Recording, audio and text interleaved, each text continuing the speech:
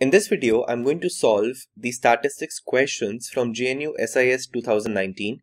इस एग्जाम में five statistics questions हैं. So let's get started with the first one.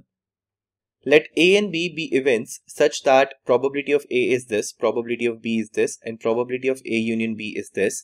We have to find the value of probability of A given B.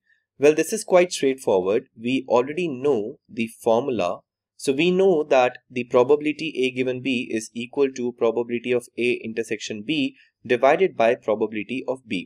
अब देखो इसमें जो numerator है इसकी वैल्यू तुम्हें डायरेक्टली गिवन है that is equal to one by four so this is something which is directly given to us this is something which we do not know but हमारे पास question में enough information given है probability of A intersection B को निकालने के लिए so we know that probability of A union B is equal to probability of A plus probability of B minus probability of A intersection B.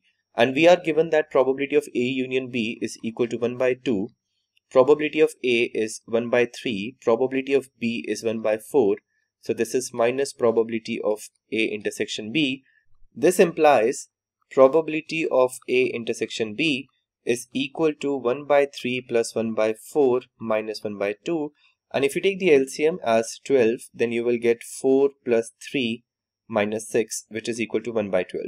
Okay, so this is your probability of A intersection B. And then this implies that probability of A given B is 1 divided by 12. And this is divided by 1 divided by 4.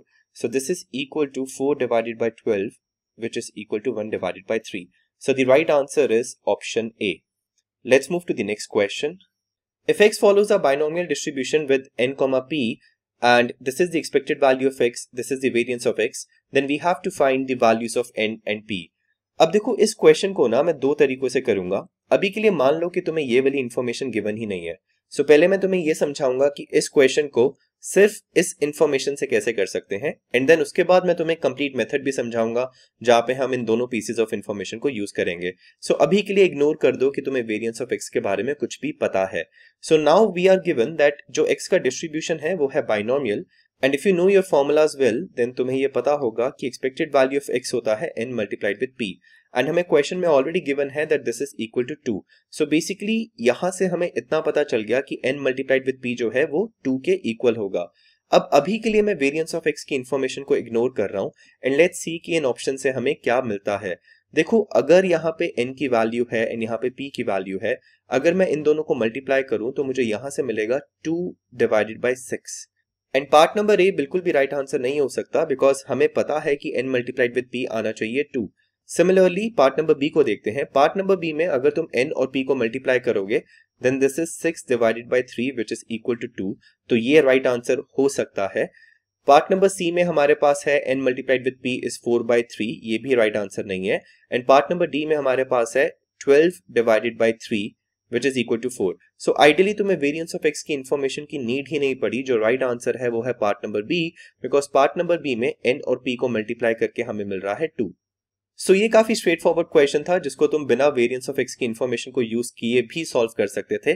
But let's see अगर तुम्हें इसको step by step solve करना है तो तुम कैसे कर सकते हो? देखो एक्सपेक्टेड वैल्यू ऑफ़ एक्स से हमें ये मिल गया।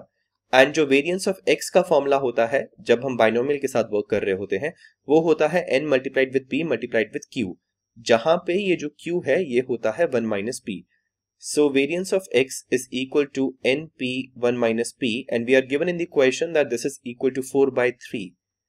So this is your equation number 1 and this is your equation number 2. अब हम बस इन दोनों equations को solve कर लेंगे n और p की value को निकालने के लिए.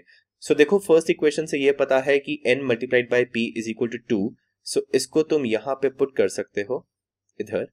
So this will imply 2 multiplied by 1 minus p is equal to 4 by 3 This implies 1 minus p is equal to 4 by 6 and this implies that p is equal to 1 minus 4 by 6 which is equal to 2 by 6. So यहाँ से हमें p की value मिल गई 1 by 3 and then we know n और p का जो product है वो है 2 so np is equal to 2 this implies that n multiplied by 1 by 3 equal to 2 this implies that n equal to 6. So n has 6 and p have 1 by 3. That means your right answer is option B. Okay, let's move to the next question.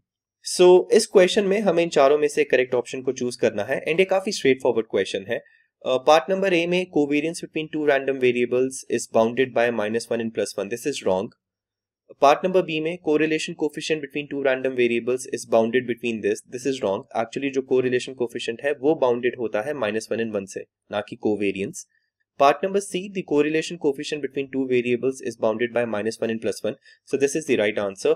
Part number D, the covariance between two variables cannot be negative. Again, this is wrong. जो covariance होता है दो variables के बीच में वो negative हो सकता है.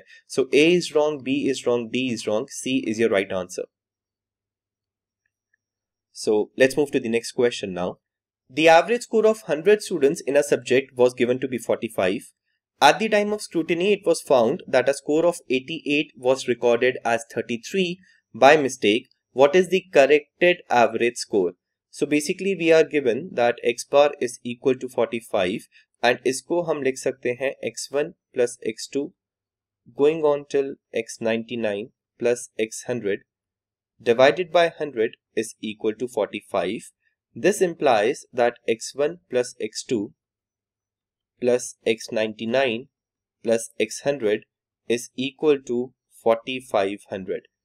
So ये है हमारा sum in 100 students के score का and 45 था इन 100 स्टूडेंट्स के स्कोर का एवरेज अब देखो हमने 88 की जगह पे 33 को रिकॉर्ड कर लिया दैट मींस इन 100 वैल्यूज़ में से एक वैल्यू है 33 सो लेट्स से ये वाली वैल्यू है 33 सो हम इन 99 वैल्यूज़ को टच नहीं करेंगे। हमें बस इस 33 को रिमूव करना है और 33 की जगह पे 88 को पुट कर देना है। सो दैट मीन्स यहाँ पे I can write summation x i where i is going from 1 to 99 plus 33 ये है इक्वल टू 4500 अब करेक्शन के लिए हम 33 को सब्ट्रैक्ट करेंगे। और ऐड कर देंगे 88 को एंड यहाँ से भी 33 को सब्ट्रैक्ट करेंगे एंड ऐड कर देंगे 88 को। तो अब ये जो सम है, जो भी तुम्हें राइट हैंड साइड पे मिलेगा, ये है तुम्हारा correct some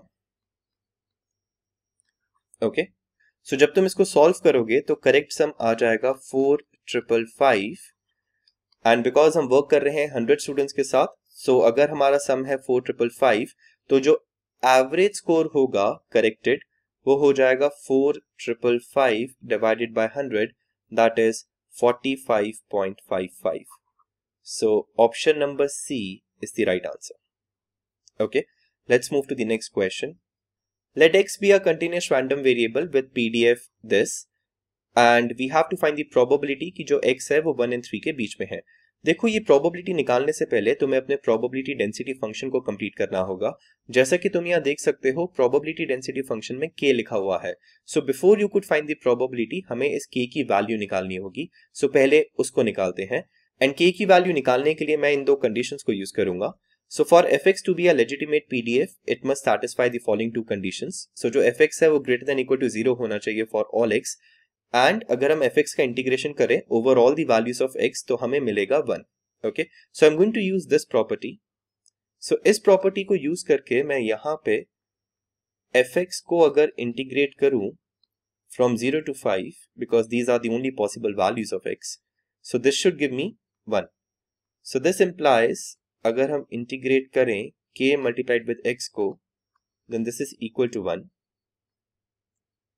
this implies k is going to be a particular constant so उसको हम इंटीग्रेशन से बाहर ले सकते हैं so this is what we have and x का इंटीग्रेशन हो जाएगा x square by two zero five equal to one this implies k five square divided by two minus 0 square divided by 2 is equal to 1 and this implies k 25 by 2 minus 0 is equal to 1 So this implies k multiplied by 25 divided by 2 is equal to 1 and this implies that k is equal to 2 by 25.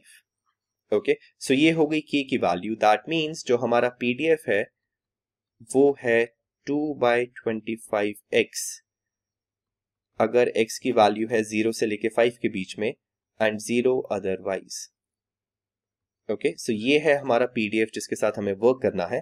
अब हम इस PDF को use करके इस probability को find कर सकते हैं।